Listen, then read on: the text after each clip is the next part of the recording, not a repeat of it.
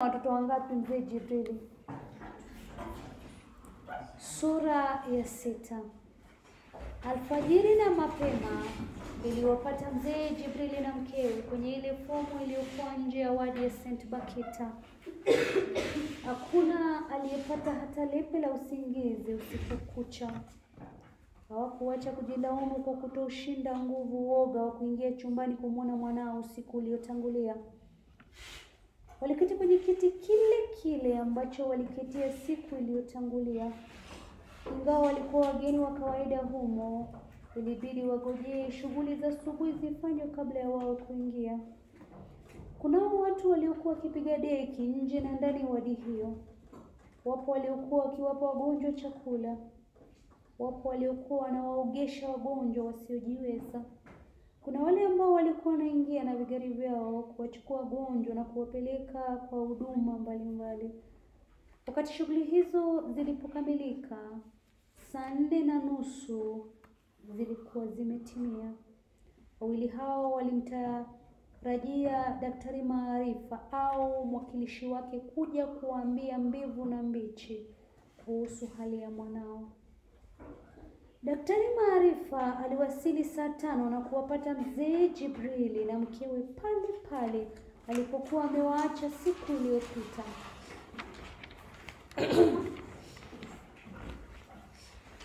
aliwafungia mkono na kufululiza hadi chumbani mwa Chale. Alimpata Sudi ameketi kwenye kiti akizungumza na Chale. Hey young man, Daktari Maarifa alisema kwa uchangamfu. Naona umeamka hata umeketi. Haikosi hata ulitazama kandanda usiku wa jana. Daktari Maarifa alisema kwa mzaa wake wa kawaida. Chale alicheka. Alimwambia daktari kwamba alijaribu, lakini usingizi ulimshinda nguvu. Akajipata amelala huku runinga ikiwa imewashwa. Daktari Maarifa aliagua kicheko kilichomfanya Chale acheke pia. Sasa tuache hayo ya michezo. Niambie, unahisi vipi? Uchungu kwenye mguu umepungua? Daktari Maarifa alimuuliza Chale. Chale alisema kwamba hakuwa na maumivu yoyote. Hata ule uchungu uliokuwa kwenye kidonda chake cha awali ulikuwa umetulia. Alisema kwamba alichokuwa akihisi ni njaa. Daktari Maarifa na Sudi walicheka. Walimwonyesha kibao kilichokuwa kimetundikwa kwenye wedi. Daktari Maarufu, Daktari Maarifa na Sudi walicheka. Walimwonyesha kibao kilichokuwa kimetundikwa kwenye bodi iliyokuwa kichwani mwa kitanda chake kilichoandikwa Nil by mouth. Chale alitabasamu. Inaonekana nitakula mate hapa, isije kuwa mmeniokoa huko thieta kuja kunifisha kwa njaa hapa. Chale aliwaambia marafiki zake hao huku akichekacheka. Daktari Maarifa alimtazama Chale kwa makini. Hakuacha kushangazwa na mtoto huyu. Hakuacha kushangaa namna alivyokuwa mweledi wa kutumia lugha. Hakuacha kushangazwa na upevu wa fikra wa kijana huyu. Hakuna yeyote angeamini kwamba ndio alikuwa ameanza masomo ya gredi ya saba. Gredi ya saba yenyewe alikuwa ameinusa tu kabla hajaanza kuugua. Wakati mwingine Daktari Maarifa alitaka kuamini kwamba mtoto huyu ni miongoni mwa wale ambao watu huita gifted and talented. Hawa huwa na uwezo usio wa kawaida wa kutekeleza mambo. Chale, wewe huachi mizaha. Hata huko thieta nilidhani kwamba utazuka na mizaha yako. Sasa acha tukufanyie uchunguzi. Daktari Maarifa alisema huku akichukua vifaa vya kazi na kuanza kumchunguza Chale. Daktari Maarifa alimkagua mgonjwa wake kwa muda. Waliridhika kwamba alikuwa anaendelea vyema. Kwa mara ya kwanza tangu Chale aingia hospitalini humo, kiwango chake cha joto kilikuwa sawa. Aliutazama mguu wake na kuona kwamba ulikuwa sawa. Alimwambia Sudi kwamba mwele wao alikuwa anaendelea vyema, alihitaji tu kuuguzwa vizuri. Wakati wote huo mzee Jibrili na mkewe walikuwa wamesimama mlangoni nyuma ya daktari Maarifa. Walikuwa wanamtazama Chale kana kwamba wanaona mzuka. Hawakuamini kwamba Chale alikuwa ametoka salama kwenye chumba hicho cha mauti kama alivyozoea kukiita Bipili. Sudi aliwaona wazazi hawa na kuashiria na kumwashiria daktari.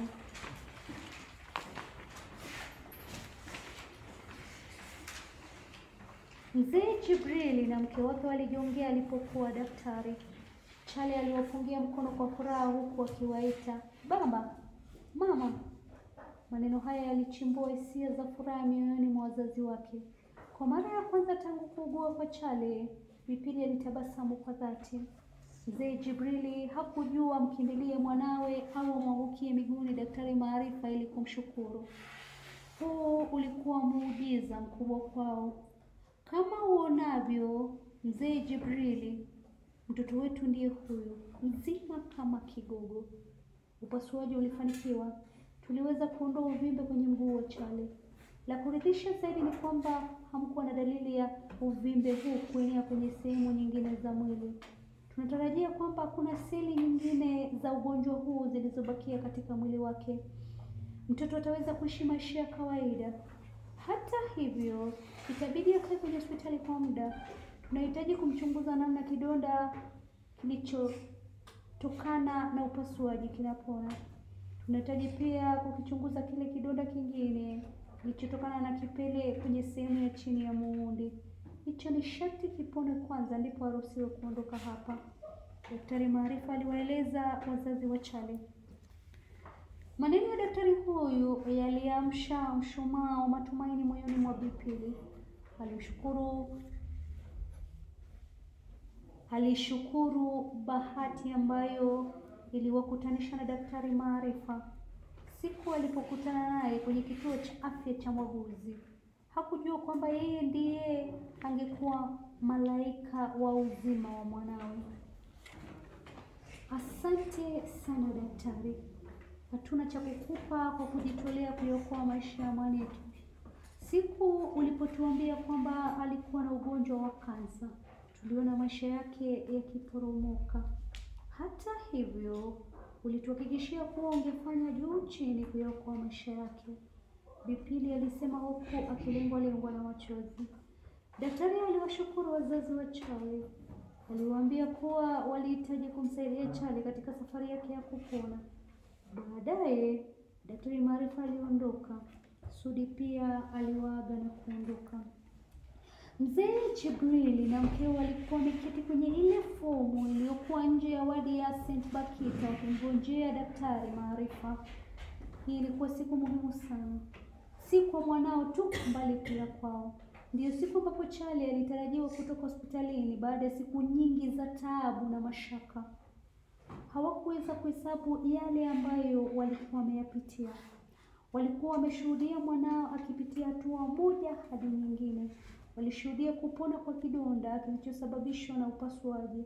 Walikuwa wamepokea habari nzuri kutoka kwa daktari Maarifa kwamba Chale alikuwa ameushinda kabisa ugonjwa wa kansa. Mguu wake haukuwa na seli hata moja ya ugonjwa huo. Katika kipindi hicho pia walikuwa wameonja shubiri. Walimtazama mwanao akiuguza kidoda kwenye sehemu ya chini ya muuli wake kwa muda mrefu.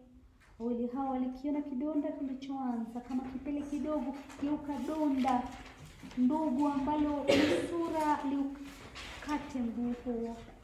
Walishuhudia daktari Maarifa akifanya juu chini kusalimisha mguu huo. Hatimaye heri ilipatikana, mguu ukapona. Hata hivyo, kovu kubwa lilibakia kukumbusha dhiki ambazo Chale alipitia. Isitoshe, dhiki zote hizo ziliwacha mguu huo ukiwa mfupi kuliko wa kushoto na sehemu ya chini ya muundi ikiwa nyembamba kabisa. Chale alilazimika kutembea kwa kuchechemea. Shikamoo baba na mama. Marahaba Chale. Habari za asubuhi, mzee Jibrili alijibu kabla ya mkewe kuzungumza. Njema, alisema Chale. Naona umejibu kwa niaba yako na ya mama. Hahaha, Chale, mtu hujibuje salamu kwa niaba ya mwenzake? uachi utani, alisema Vipindi huku akichekacheka. naona umebeba mkoba. Umetoa wapi asubuhi hii? Umetoka wapi asubuhi hii? Mzee Jibrili alimuuliza Chali. Nilikuwa nimeenda kuaga wenzangu darasani. Unajua, hii ndiyo siku yangu ya mwisho hapa. Nilitaka kuwahimiza wenzangu wasikate tamaa, Chali alisema. Mzee Jibrili hakusema lolote, alitikisa kichwa tu. Alikumbuka siku ambayo mwanawe alimwomba amnunulie vitabu vya kusoma. Alipomuuliza kiini cha hayo, alisema kwamba muda mrefu ulikuwa umepita tangu aondoke nyumbani. Wenzake tayari walikuwa wanaendelea na masomo ya gredi ya saba, walikuwa wamejifunza mengi. Alihitaji kujifunza baada ya mambo katika kipindi alichokuwa anangojea kupona kabisa. Baba yake alikiona hiki kuwa kionja kikubwa. Maishani mwake hakuwa amesikia mtu yoyote amewahi kusomea kwenye wadi. Hata hivyo, alimnunulia vitabu alivyohitaji. Alimnunulia pia madaftari ya kufanyia mazoezi. Mzee Jibrili hakujua kwamba baadaye Chale angezungumza na Daktari Maarifa Masudi. Haya alikuja kuyajua wiki mbili kabla ya siku hii. Sudi ndiye aliyemnong'onezea. Alimwambia kwamba usimamizi wa hospitali ulikuwa umemridhia ombi lake Chale kwamba yeye na wenzake waliokatiziwa masomo kutokana na ugonjwa watafutiwe chumba cha kujifunzia. Mwanzoni, mwanzoni walikuwa wachache. Hata hivyo, idadi ilianza kuongezeka kutokana na juhudi za Chale za kuwahimiza wenzake wajifunze wakati ambao hawakuwa wanahisi uchungu. Tutaingia pamoja au mtagojea Daktari Maarifa? Chale aliwauliza wazazi wake.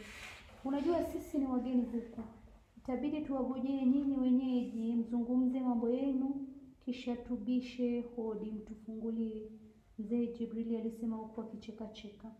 Chale aliagua kicheko, alipita akichechemea na kuingia kwenye wadi.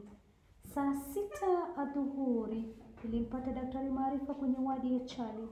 Ni siku ambayo wote waliingojea kwa hamu na gamu. Ilitarajiwa kuwa ilitarajiwa kuwa siku ya furaha. Hata hivyo, ilijaa mchanganyiko wa furaha na majonzi. Kwa miezi sita, Daktari Maarifa alikuwa amemhudumia Chale. Mwanzoni alimwona kama mtoto mdogo mno wa kumhudumia. Hata hivyo, aliinukia kuwa rafiki yake wa dhati.